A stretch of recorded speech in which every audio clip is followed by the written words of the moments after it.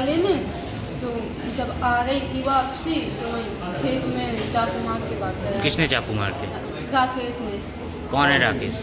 हमारे वहीं का है क्या क्या, क्या वजह रही? कुछ नहीं ऐसी अचानक।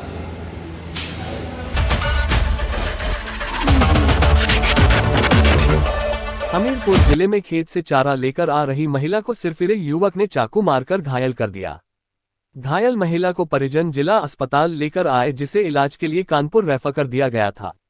चाकू मारने वाला युवक मानसिक रूप से विक्षिप्त बताया जा रहा है। महिला की गले पर गंभीर चोट आई है। हमीरपुर ज़िले के बिवान थाना क्षेत्र के छानी खुर्द निवासी ज्ञानदेवी घायल महिला ने बताया कि वह अपने खेत से देर शाम पड़ोसी सुनीता के साथ चारा लेकर घर वापस आ रही थी। सामने से आ रहा गाँव के ही युवक राकेश ने उसके गले में चाकू से वार कर दिया। चिल्लाने पर युवक मौके से भाग गया। सुनीता ने उसे छानी अस्पताल पहुँचाया गया। बताया कि रविवार को राकेश उर्फ़ पार्टी द्वारा गलत इशारे करने पर परिजनों को उलाहना दिया था जिससे वह नाराज़ था। युवक मानसिक रूप से विक्षिप्त भी बताया जा रहा है। गले में चाकू लगने से महिला गंभीर रूप से घायल हुई है और महिला का इलाज अस्पताल में चल रहा है। क्या ये महिला आई हुई है जिसका नाम ज्ञान देवी है बीमार की क्षेत्र की है।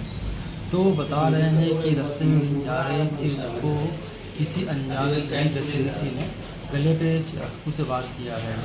अक्सर नौ जो है चोट लगी हुई है। उसके हिसाब से इलाज किया गया है और उसकी कंडीशन अच्छी नहीं लगते हुए उससे हमने इलाज करने के बाद अपराध कानपुर किया है।